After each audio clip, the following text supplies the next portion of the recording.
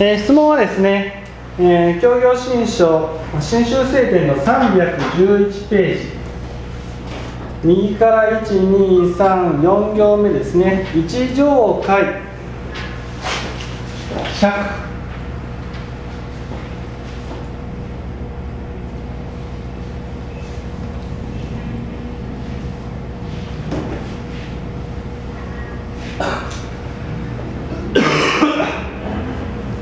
えー一条会というは一条は大乗なり大乗は仏乗なり一条を売る者はあのくたら山脈三菩提を売るなりあのく菩提とはすなわちこれ涅槃外なり涅槃外はすなわちこれ苦境発心なり、えー苦境発心を売る者はすなわち一条苦境するなりいなる如来増し増さずいなる発心増し増さず如来はすなわち発心なり一条苦境する者はすなわちこれ無変不断なり大乗は二乗三乗あることなし二乗三乗は一乗に入れしめんとなり一乗はすなわち第一義乗なりただこれ聖願一仏乗なり。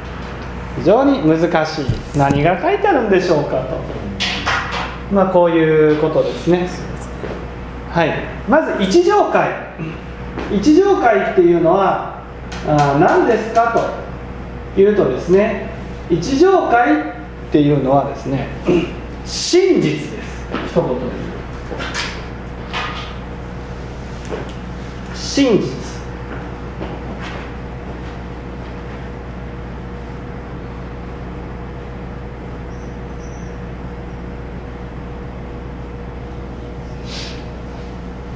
ね。えー親鸞上人がそれ真実の経を表さばすなわち大無量寿経これなりと。こういうふうに言われた真実とは一条会のことです。わかりますかね？真実。ね。じゃああお釈迦様のそれ以外の教えは何ですか？というと方便です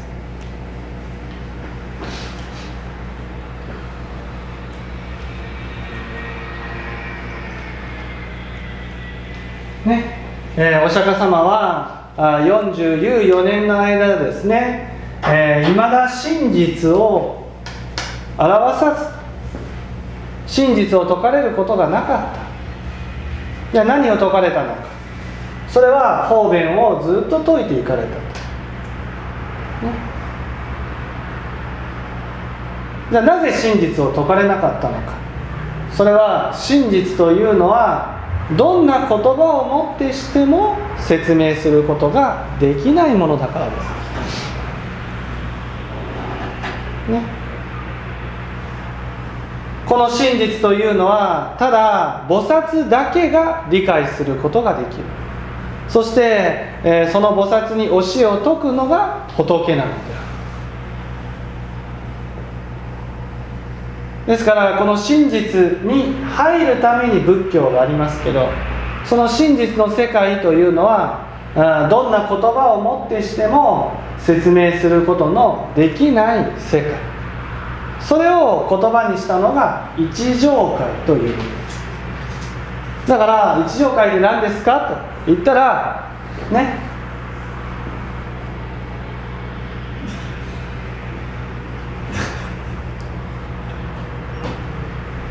わかりました？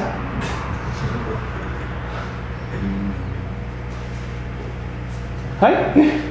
お釈迦様がねその真実は何かどんな言葉をもってしても説明できませんとお弟子の方が言った「ゆいまどう思う?」そしたらね何にも語らなかった。そうそうそうそうそうだからどんな言葉をもってしても説明はできません。え？じゃあこれは。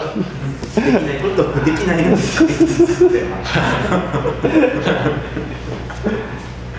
ね。まあ言葉では説明できません。日常会、はい、でもこの世界に出ることが仏教の目的です。はい仏教の目的。一条界に出ることが仏教の目的です。言葉ではできないそう言葉で言葉では説明できません。この後書いてあること。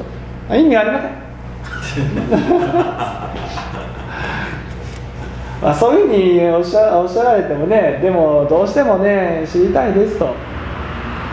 一条は大乗なり大乗っていうのはですねえーこ本当にね心の底から人を救ってあげたいと思う世界。なんです大乗っていうのはね。この一条っていうのは大乗のことですよと。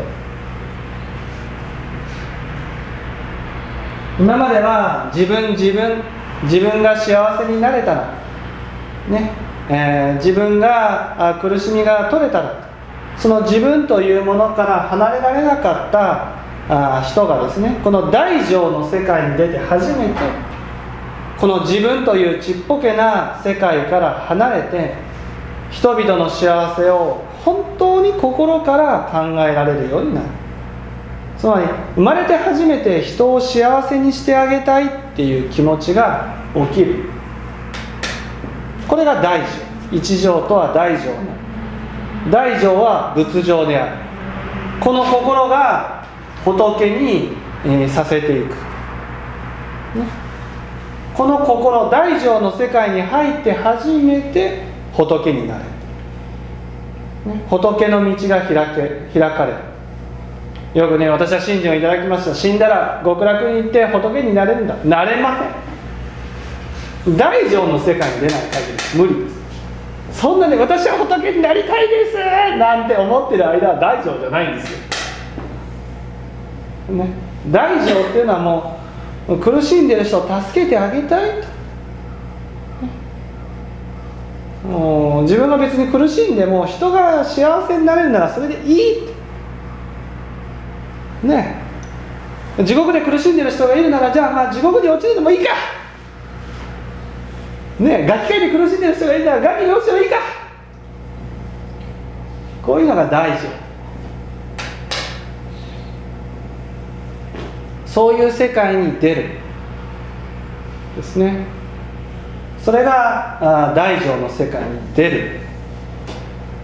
うんこの大乗の世界について説かれているのがお経ではですね大無量寿経と法華経です、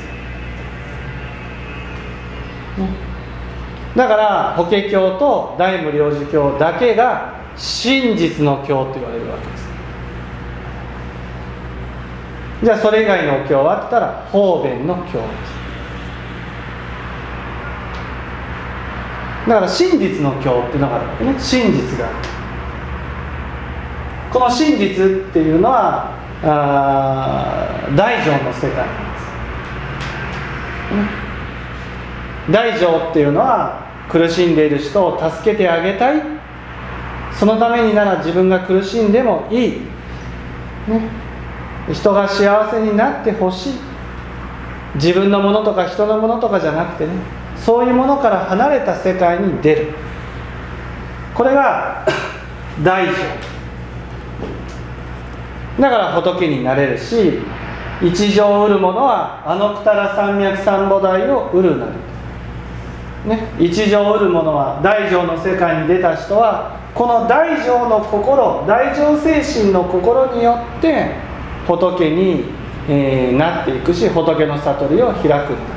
あのくたら山脈三母大を売るんですよ、ね、そのあのくたら山脈三母大の世界とはすなわち涅槃界になると、ね、涅槃界涅槃界っていうのは画集が完全に吹き飛んだ世界です、ね、吹き飛ぶってことは自分のものと人のものの、境がない。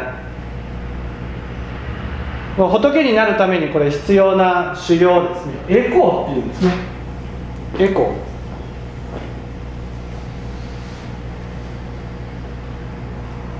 仏の悟りを開くためにどうしても必要な、ものがですね合衆から離れる、ね、自分のものだという気持ちから離れないといけない。だからあ自分が苦労して手に入れたものも気持ちよく人にあげていかないといけないんですこういうそれが仏になるための修行なんですよ。これをエコーっていうんです。ね。まあ分かりやすく言えば人からね、えー、汚いものを受け取り自分のきれいにしたものをあげる。そうすると自分が汚くなるから一生懸命掃除をする。できれいにしたものをまた人にあげる。汚いものを受け取りまた自分が汚くなる。それを果てしなく繰り返して、えー、自分に対する執着から離れる。がががあるのに、えー、どうしてそのできるんですががあるのに、えー、大乗に入った人もががあるわけですね。大乗に入った人はががあります。がまだがが自分のを支えているわけですよね。がが支えてるわけじゃないですががあるだけで。支えてるものがあるわけです、そう私を支えてくれているものがあるわけ。だからがを捨てられる。そうそうそうそう。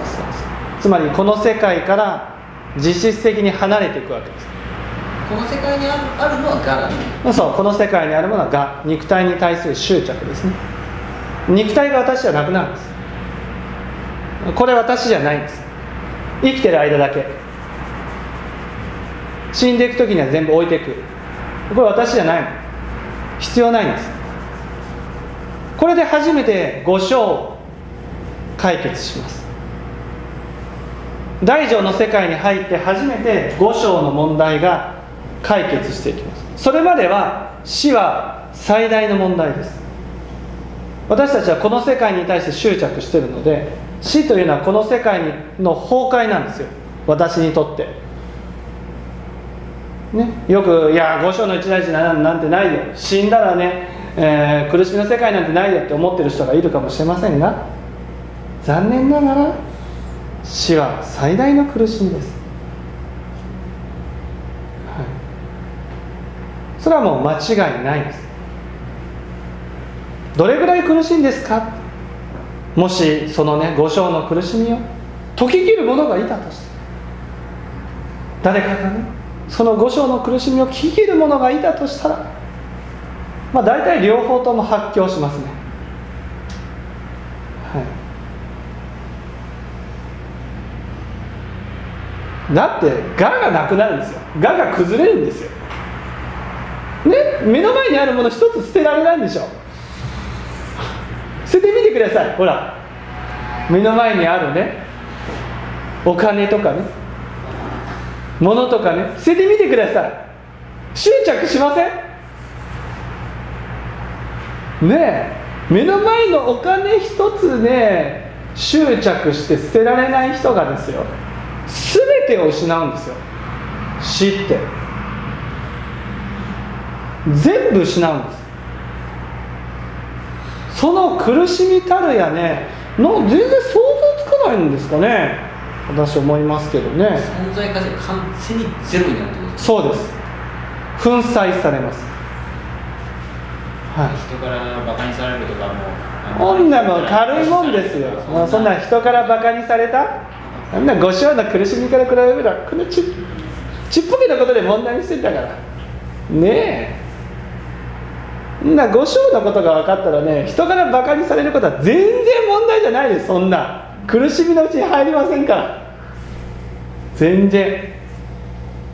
はい。だからこの真実の世界から比べればですよ。真実に入るということから比べればこの世の一切のことはどうでもよくなります。どうせ死んでいく時に置いていくから。お金持ちになろうがね経済的に豊かになろうがねえー、どれだけこう地位や名誉や財産が手に入らおうがね全部この世のことじゃないですか。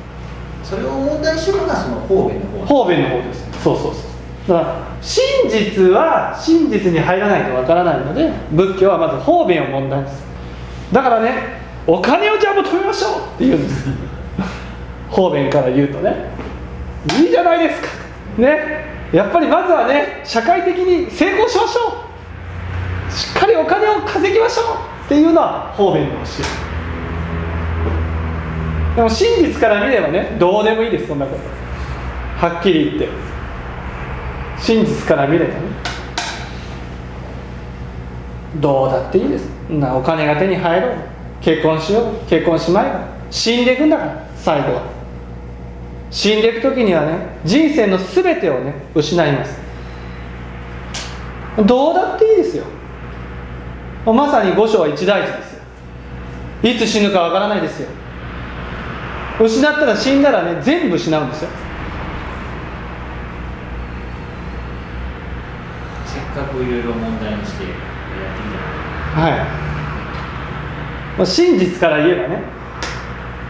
でも真実はねどんな言葉をもってしても説明ができないからね。だから方便の教えを説いてるわけです方面から言えばねいやーほんなねもうお金を稼ぐことが大事ですよ。やっぱりまずは家族ね。家族。ね。家族を幸せにする。そして仕事を始めたらちゃんと成功させる。ね。でも真実から見たらそれはなんていうの戯れというか、ね、遊びというか、まあ、生きてる間のね何ていうんですか夢幻というんですかね、うん、どうだっていいです。そんなことよりも我が身の死が問題になります。死んでいく死んだらどうなるのか。肉体は滅ぶ画集も崩れる。私はどうなるのか。どうなるもこうなるも真っ暗になります。この世界から抜け出さない限りね終わりです。終わりって言ってもまあ生まれ変わってきますけどね。だけど自分が人生をかけて積み上げてきたことはそれは全くの意味のないことになると。全てが崩れてしまう。この世界でない。そう。私っていうのを、まあ、全然想像できないものをちはい。ゃんと、まあ、持つじゃないはい。そう。この世界を離れた私っていうものがないといけない。この世界を離れた私を持つ。これが一条界に出るということです今まではそのね、えー卵の中にいた、ね、その卵の中の世界にいてね。そして殻の中に閉じこもっていたと。その外に出る、ね、卵の外に出る。これが一条界に出る。これが仏教の究極の目的です。だけどそれはどんな世界なのか。それはどんな言葉をもってしても説明はつかない。そしてこの世界を理解できるのはただ一つ。一条界に出た人だけなんです。その一条界に出るための唯一の方法が六度万行なんです。六度というのはね渡すっていうのはこの一条界に出るために渡す。そういう方法なんです。でもまあこれはね質問で、まあ、一条界について聞かれましたから、まあ、私も答えますけどね。日頃はそんなね答えません。よな。日頃はねいややっぱり人生お金が大事です。ね。やっぱり生活をねきちっとしていくことが大事なんです。とね。目力ですとかね。こういう話をしますよ日頃は。五章一大事あそんなこと考えなくていいんですよ。そんなこと考えなくていい。生きてるこの人生を大事にすることなんです。日頃はねこういうふうに話をします。今一条会について聞かれたから。渋々。渋々じゃあ真実から言ったらどうなんですか。死んだらちょっと一大事なんです。めっちゃ一大事ですよ。大丈夫ですこれはね本当に比較になりません。大丈夫。期待は本当に裏切りません。これはすごいですわ。大体もう目の前でこう物一つ執着して捨てられないんだからね。ね。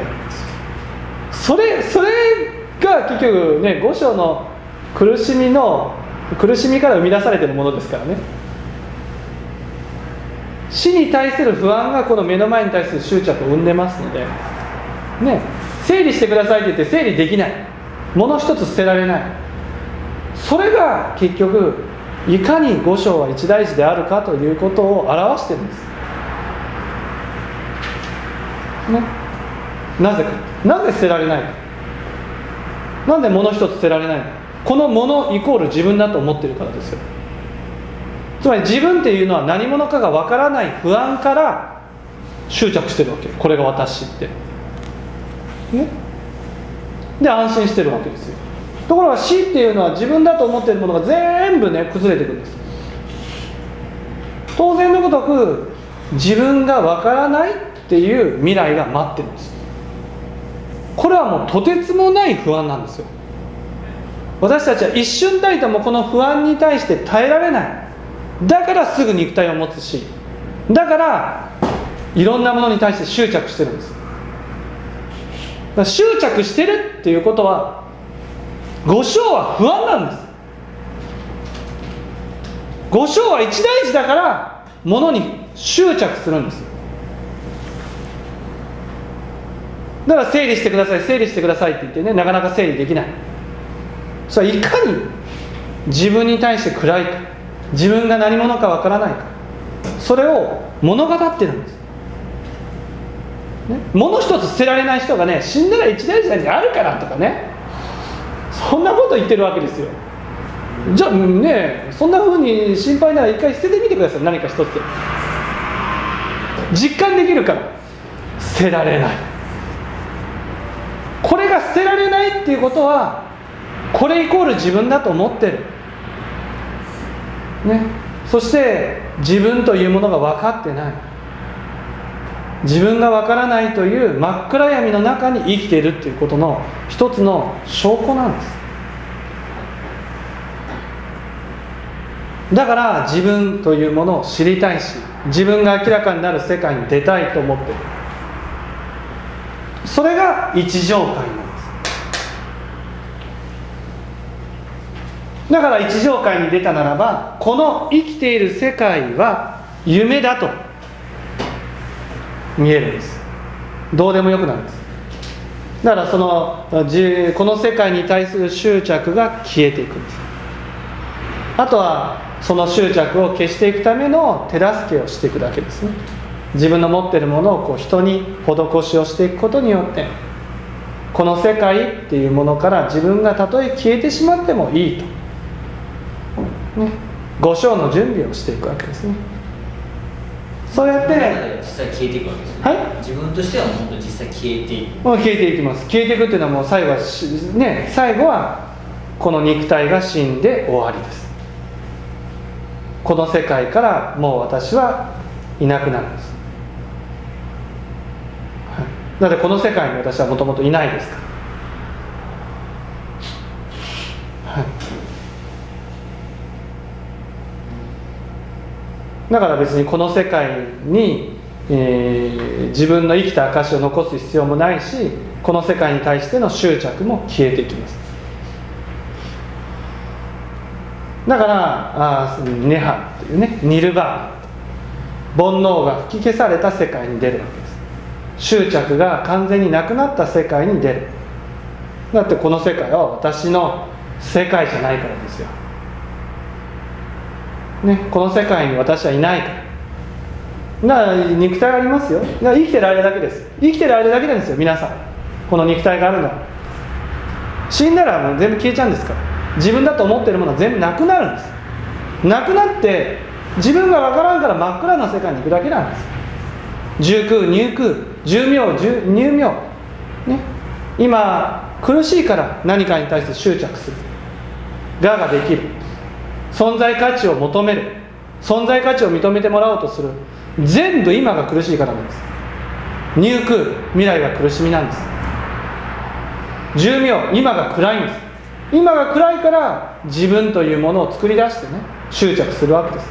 存在価値が必要なんです。存在価値が必要っていうことはね認めてもらわなくてはいけないってことはそれだけ自分がわからないから。ですゃあ死んだらどこ行く？真っ暗な世界に行きました残念ですけど。じゃあ自分はどこにいる？かわからないんです。自分はどこにいるか。だから真っ暗なんです。でまた生まれ変わってくる。不安だから。耐えられないから。まあこれは質問されたからね。何度も言いますけど質問されたから答えてるんですけど、ね、質問されなかったら方便ですから。方便の時に言うわけないじゃないですか。五章一年であそんなこと考えなくていいんだよ。死んだら苦しんだんですか。そんなこといい。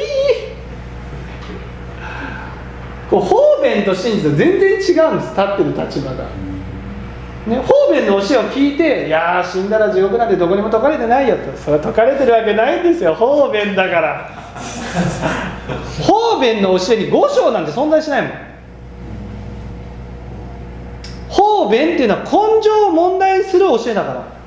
死んだ後の教えなんて方便にあるわけないんですよ。花降る浄土ぐらいです。ありますよとかってあるかないかわからないけどありますよっていうぐらい解かれます。方便だもん。方便の教えに五章の話なんてあるわけがないんですよ。ほとんど方便なんだから仏教って言ったら。ね。その仏教のほとんど方便の教えでね五章はどうなんですかとかって聞かれたらねさあ分かりませんねって。こうなる方便なんだ。そんなことだって問題にする必要ないの。五章は問題にする必要はないんです。五章が問題になったことを仏教では浄土に向かうっていうふうに言うんです。ね。五章が問題になった心を至上心人心エコ発願心っていうんです。肉体が死んだらどうなるのか。生まれて初めて問題になった心を至上心人心エコ発願心って言ってね。この心にならない限り全然五章なんて問題じゃないし一生会の話なんて言っても仕方がないんです。だからそんなこと解かなくていいんです仏教。今これで解いてるけど。それ聞かれたから。何度も言う聞かれたから解いてるんですよ。ね？他の人にね聞かれたらもうさあ知りませんね。どうなんでしょうね。いいところに生まれたらいいですね。こういうふうに答えますよ。方便な。の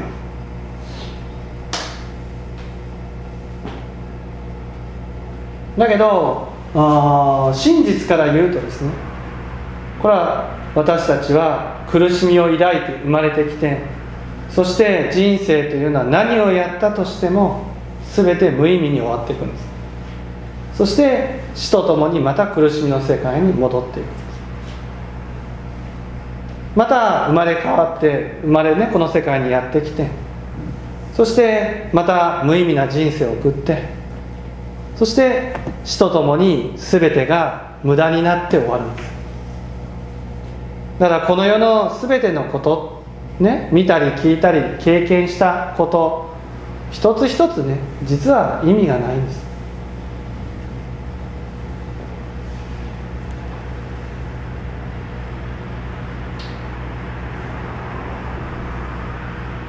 それが死というものによって知らされる真実なんです。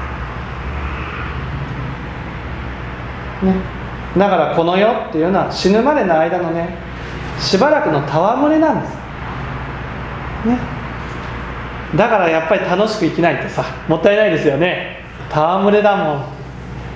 そうですよね。そうですよね。そうそう。ね戯れ生きてる間っていうのはちょっとねこう無意味な人生をねこう何ていうんですか生きていくその戯れでしかないですか。らはい。だから楽しく生きよう。と方便を実践していくと何がいいんですか？方便を実践していくと真実に入れる。だからここに書いてありますよね、えー、2条3条は1条にいらしめんとなり。って書いてあるように2条3条っていうのは方便の教え。方便の教えというのはこの真実に入るためにあるだからこの世を問題にして仏教を聞いて実践していくのは全て真実に入るためにある、はい、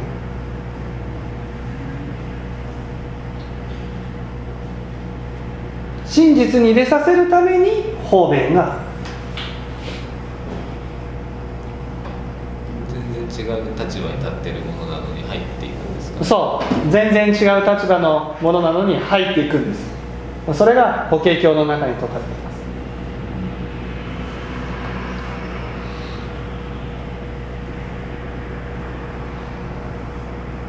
ね。これが何ですか家宅の例えだったからちょっとなんかこう火がついた家の例えでね。子供たちがね中で遊んでるわけ。でこのままだと火に焼かれてね、えー苦しんでしまうと。そう思って、えーお父さんがね「おーい!」外にねおもちゃを用意したよって言うんです。みんなの分を用意したけどちょっと足りないかもしれないから競争でね早いも勝ちでね好きなおもちゃ取ったらいいよって言うんです。そうするとね子供たちがね「えー、おもちゃがもらえるの?」とか言ってねおもちゃ欲しさにこうやってね外まで出てくるんですよ。ところが外に出るとおもちゃがない。ね。それでお父さんにね「おもちゃはどこにあるんですか?」って聞くんですそうするとおもちゃはないけどねフェラーリを用意しておいたよとそうだったんですか？ということでねフェラーリに乗ってこう運転すると。こんな感じ。つい吸い出されたら思ったものと違うもの。そう思ったものと違うもの。だ想像もしてなかった。そう想像もしてなかった宝の山が待ってるわけです。だけど想像しているこう宝を求めてこうそうかそうかこの世の幸せが得られるんだってうわーって走っていくわけで出た瞬間あれ？この世の宝がないぞ。であるのはもっと大きな宝が待っている。ところがこの大きな宝は私たちには想像がつかないのでね長女様はあお父さんはその私たちに分かるちっぽけな宝をこう明かりに、えー求めさせたわけです。でこの大きな宝は私たちは全然ね求めてないんです。例えば仏になりますよ。ああすごい仏になりたいわ。なんて思わないでしょ。ね。えいやー死んだね死んだ時のね大変な一大事を解決できるんですよとか言ってね言ったってですよ。そんな死んでみなきゃ分かんないのになとかね。本心はそうなんです。だからね、えー地獄だぞ地獄だぞってこう、ね、不安を与えてねああ怖い怖いやっぱり死んだら大変な地獄があるかもしれないとかねそうやってねこうなんていうんですかねマインドコントロールって感じで動かしていくしかないと思う人もいるわけです。こういうのは違うんです。仏教の教えから言うとそんなこと言わなくたっていいんですもんそんな。求めてないんだから。だからねその素晴らしい幸せが待ってますよ。そうか。一生懸命求めたらお金が儲かるんです。儲かる儲かる。結婚できるんですか？結婚できる？できる。子育ては成功します。できる？できる。ね？じゃあ会社を開いたらうまくいきますか？行く行く行く。そうか。じゃあ頑張りますって言って始めるわけですよ。ね？そして出てみたらもちろんちゃんと会社、ねうまくいくしいい人と結婚できるしね。ね？そしてお金も儲かるけどそんなことはどうでもよくなるんです。どうでもよくなるんですそういうのね出てみるとなんだそんなもうこの世のことなんてちっぽけなことだなと、ね、それが真実の世界。こういうことなんですね。うん。ね、だから涅槃会はすなわちこれ苦境発心なり。苦境発心を得る者はすなわち一条苦境をするなり。苦境発心っていうのは本当の肉体ですね。本当の肉体っていうのはいわゆるこの肉体ではなくて本当の自分っていうことです。それを持つことなんですよと。本当の自分を持った人が一条に出た人なんだと。これと違う如来はいない。これと違う発心もないですね。如来はす。なわち発心なり仏になるっていうことはこの発心を手に入れることなんだ。ね。こういうことです。で一条苦境する者は、えー、すなわちこれ無変不断なり。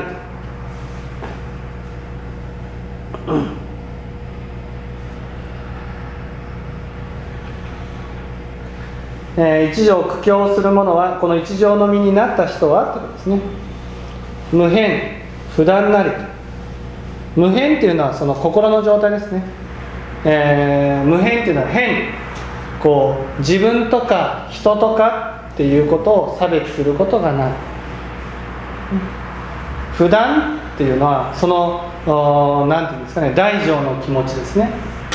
人を幸せにしたいという気持ちが途中で途切れてしまうということもない、それはもう次元の違う世界なんだということです。だから大乗は2条3条あることなし、ね。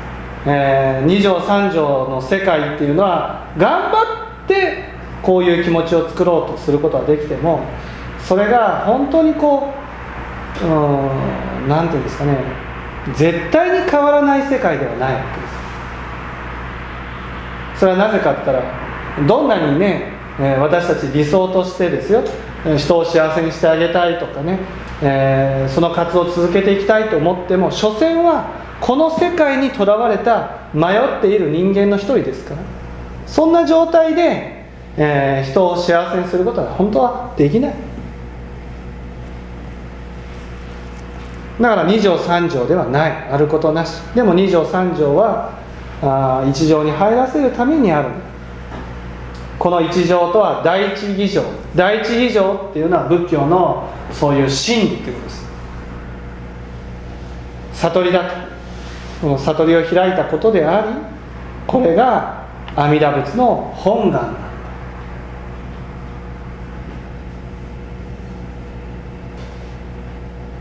これで分かって。分か分かるわけないですよね。あ まあ。まあこういう世界があると。ね、というぐらいのこと言ってそうそうそうそうそう。まあお釈迦様でさえですよ。44年全く解いてないんですから。ほとんど解いてないんです。ちょびっと言ったはい。あまり私たちには関係のない話ですから。はい。分かっていただきました、はい、でちょっと休憩をします